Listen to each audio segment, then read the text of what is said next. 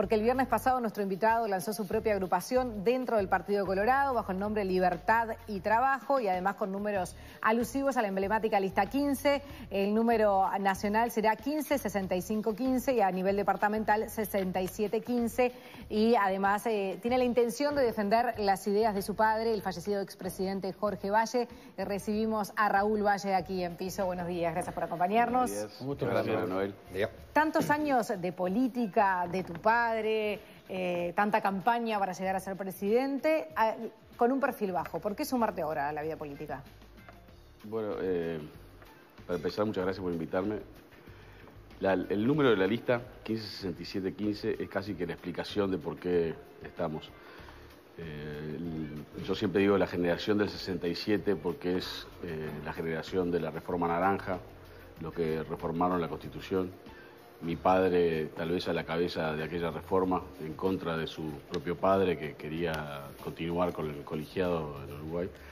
Eh, entonces, eh, esa generación es la que hoy nos hace disfrutar para mí este país, porque luchó muchísimo por este país. es la generación de nuestros padres, en general, de los que tenemos 50, yo un poco más, 54.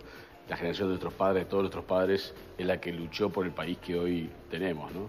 Y, este, y me parece que mi generación está un poco como con un pasito atrás, incluso cuando vos te juntás con, amigos en un asado y eso te dicen, ah, que los políticos son todos iguales, que esto, y, este, y, desde el Facebook o desde el Instagram meten una, una opinión y piensan que con eso alcanza y para mí hay que hacer un poquitito más y yo creo que esta elección es muy particular, tenemos que hacer todos un esfuerzo por, por, estar donde queremos estar y por el país que queremos para los próximos 100 años. Yo siempre digo, tenemos que pensar en un país por 100 años, no por 5 ni por 20, porque la verdad que hoy, con todo lo que vivimos, pensar en 100 años es, no es nada. Este, seguramente nuestros nietos estén viviendo en ese país, tal vez una edad avanzada, pero viviendo.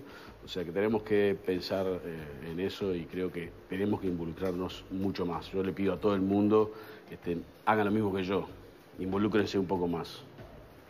Bien, eh, pero eh, en todos estos años además viviste la crisis de 2002 y también todo lo que se dijo en ese momento y así todo tenés ganas de meterte en este mundo. Sí, sí, sí. Eh, a ver, primero que es como cuando vos tenés una familia de doctores, ¿no? O sea, ves a un, tajo, un tajo y, no te impresiona, ¿no? Claro, bueno, pero por este, ahí vos podés decidir estudiar o no eh, medicina como hace el resto de la familia. Pero en tu caso ni siquiera de repente te puede llegar a interesar ser La política es algo que lo estudias siempre, ¿no? O sea, ustedes hacen política, todos hacemos política en mayor o menor medida.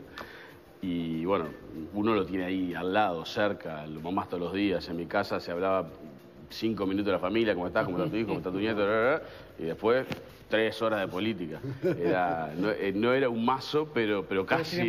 Pero, casi. Nunca tuviste visibilidad pública, digamos. No, eh, siempre, nosotros siempre fuimos militantes de a pie, o sea, siempre trabajamos en política, pero nunca desde ni de un cargo ni nada. Para te hagas una idea, nunca ni siquiera integramos la convención del Partido Colorado, o sea, siempre estábamos marcando listas, cerrando listas cosas así, este, pero nunca en las, primeras posiciones.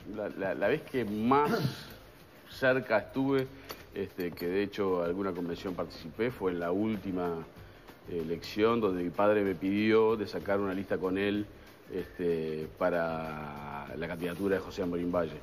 Eh, sacamos la 19-15 en aquel momento y yo iba como número 10. Este, me había prometido, creo que el número 3 o el 4, y después me fue bajando y me el décimo. No, porque tiene que estar tal, y ¿Qué le ibas a decir, no? Eh, a, Morín eh, dice, ¿no? Por lo general, que Valle solía afilar candidatos, pero siempre lo terminaba votando a él, ¿no? Eh, ¿Vos compartís eso? Sí, bueno, yo en mi casa, desde que tengo, creo que uso de razón, no sé, 5, 6, 7 años que uno se empieza a acordar de las cosas ya con algún tipo de criterio, este, vi pasar y sentarse al lado de mi padre y hablar horas y días, creo que la gran mayoría del elenco este, del Partido Colorado, de muchos de otros partidos, y, este, y el viejo ha tirado a la cancha a, todo el mundo. En las últimas épocas, como que no tenía mucha suerte, andaba dándole manija a muchos, de hecho muchas veces este, José Amorín los nombra, Y, bueno, pero esos hoy están también como yo, tal vez un poco retirados. Y, bueno, eso lo ha hecho toda la vida el viejo y, siempre te ponía desafíos adelante. Nunca te lo hacía fácil. No era que los No te lo hacía fácil. te, lo puedo, decir yo. Te ¿Por qué apoyar públicamente, por ejemplo, a José Amorim Valle, que además tú decidiste acompañarlo? Eh, ¿Por qué yo apoyarlo? Decís, a ver, José, para mí, primero, cuando, te voy a decir la parte emocional primero, ¿no? Yo cuando lo veo a José, cuando lo escucho hablar, cuando lo escucho actuar, cuando lo veo actuar, cuando lo veo eh, hablar de las personas una a una, de nombre y apellido, y, y quién es de tal lugar, y eso yo veo a mi viejo, o sea, eh, es realmente re parecido en su forma de pensar y, y, esas cosas que hacen a la política, ¿no? O sea, de acordarte el nombre del fulano, de dónde estaba, en qué lugar y qué pueblito del interior yo eso este, lo veo mucho en José, eso me, llama mucho, lo vemos en José, no, soy solo yo, es toda mi agrupación o toda nuestra agrupación, porque la verdad que no es una cosa que hice yo solo, sino que somos muchos adentro y estamos todos trabajando por lo mismo. Pero además de eso, para mí José representa realmente a 15, es la verdadera 15, está ahí, los que nos sentimos quincistas de alma y, de sangre y de genética y de, muchas cosas más, de muchos años, ¿no? porque la 15 ya tiene hoy 70 años más o menos. Yo siempre digo que la diferencia entre Argentina y Uruguay, cómo está hoy el Uruguay, cómo está Argentina hoy, es que hace 70 años en Argentina estaba Perón y en Uruguay estaba el vallismo. O sea, el vallismo evitó que durante 70 años el populismo llegara como llegó a Argentina de manera fuerte este, y muy anticipadamente, ¿no? O sea, hoy podemos discrepar o no, pero... Los blancos te están agradeciendo que los hayas omitido ¿Eh? absolutamente de, sus aportes al sistema político bipartidario. No, pero ahí hay una cosa que yo quería preguntarte respecto a a tu viejo también.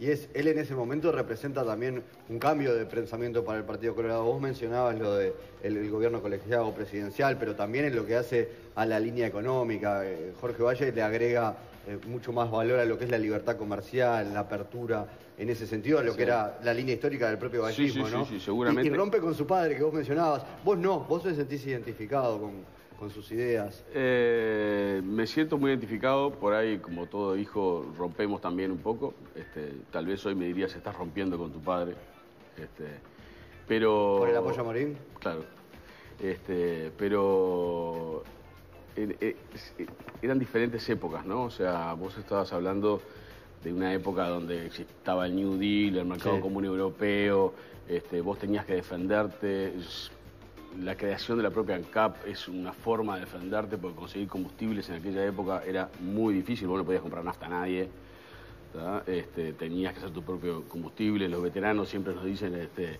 lo del auto, el gasógeno, que era el carbón transformado para que pudieran circular porque no había petróleo. Hay una solución para cada época. El mundo, el mundo de la posguerra, ¿no? y vos en un mundo tan cerrados se tuvieron que mover de una forma eh, cerrada, porque vos no, no, podías.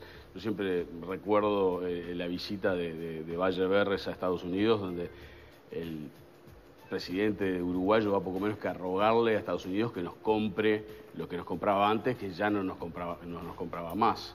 Decía, nosotros venimos a comprarles sus vehículos, sus maquinarias, y ustedes no nos compran a nosotros nuestra, nuestra mercadería principal, que eran alimentos, textiles, cueros, o sea, era comida y ropa, básicamente, ¿no?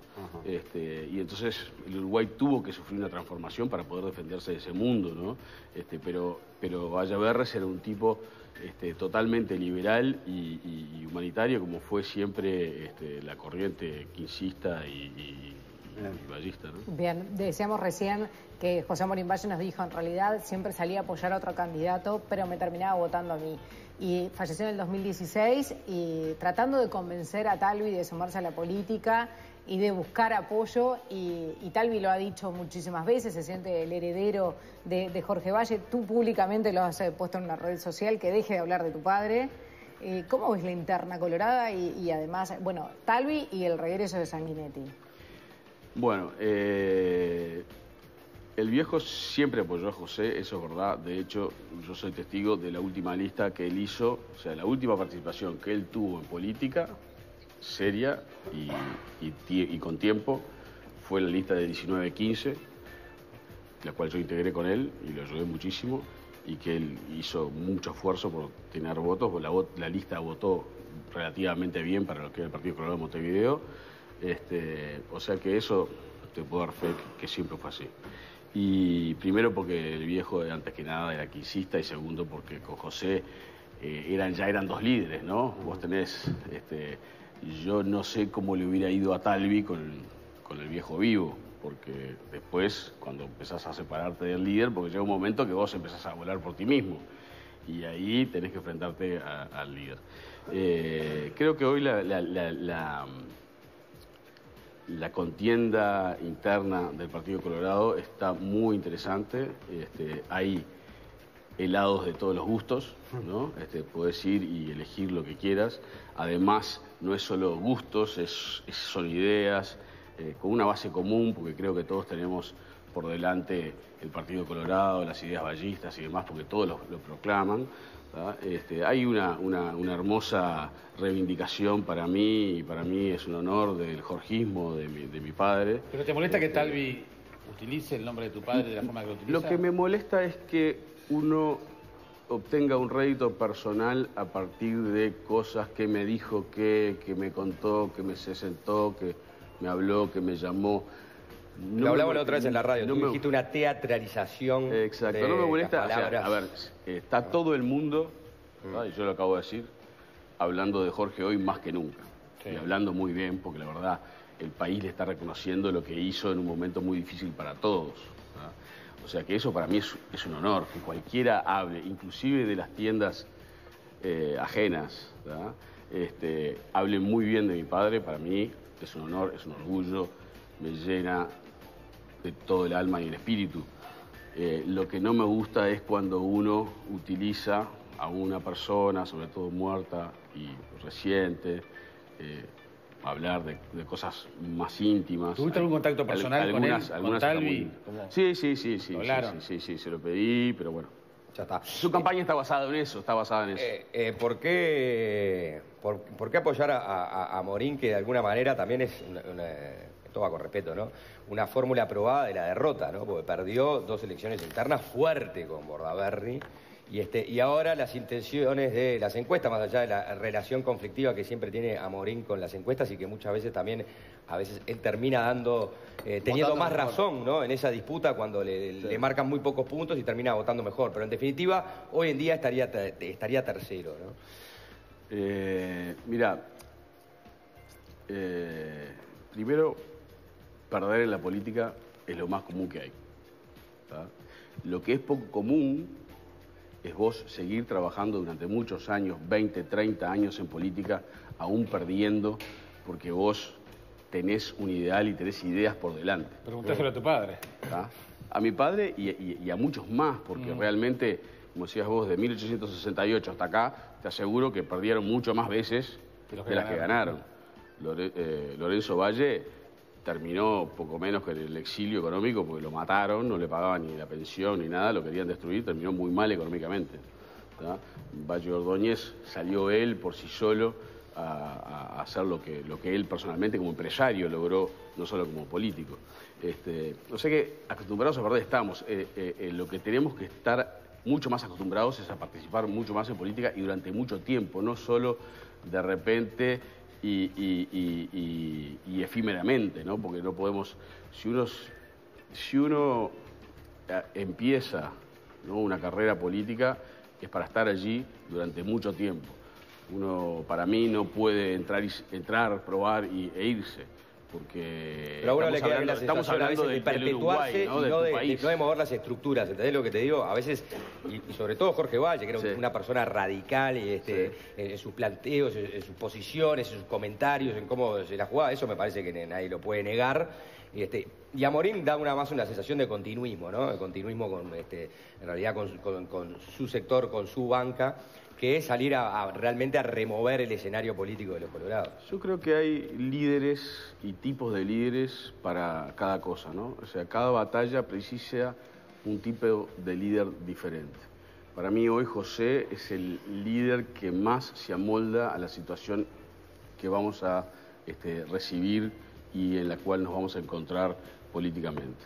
Eh, ustedes lo saben mejor que yo, el gobierno que viene no tiene mayorías, o sea, tal vez el gobierno que viene tenga la oportunidad de sacar un país que sea como más de todos y no de una sola mitad, porque yo creo que esas mayorías absolutas y cortadas al medio, que hacen todo para todos, pero más con la visión de ellos, no son muy buenas y creo que el próximo gobierno tiene para hacer mucho. Yo creo que eh, esté donde esté José, del Partido Colorado, es la primera persona que van a ir a buscar para encontrar esas conciliaciones. Así tenga un voto, ¿eh? lo van a ir a buscar porque es un tipo conciliador, es un tipo negociador, arma equipo, es realmente un equipo. Cuando vos mirás, yo hay cosa que le digo a la gente, es cuando tú mirás la campaña, decime cuántas figuras ves por ahí que sean como José, que realmente salgan con un equipo, como está con Germán Contiño, con Julio de Brun, que salen a la cancha este, en forma eh, junta y permanente, ¿no? no es solamente la figura de, vos, yo miro las otras campañas, es, están centradas en la figura de un personaje y se terminó.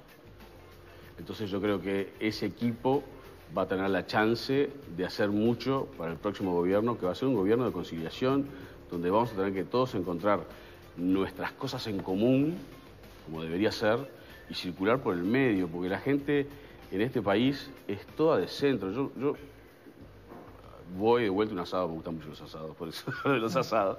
Voy a un asado con amigos y son del Frente Amplio. Mis mejores amigos son del Frente Amplio, del Partido Blanco y del Partido Colorado. O sea, voy a un asado de amigos y está la, sociedad representada. Y sin embargo, todos opinamos igual. Mm. Tenemos candidatos y gustos diferentes, pero en realidad opinamos igual. Creo que opinamos mucho más igual nosotros que los propios líderes.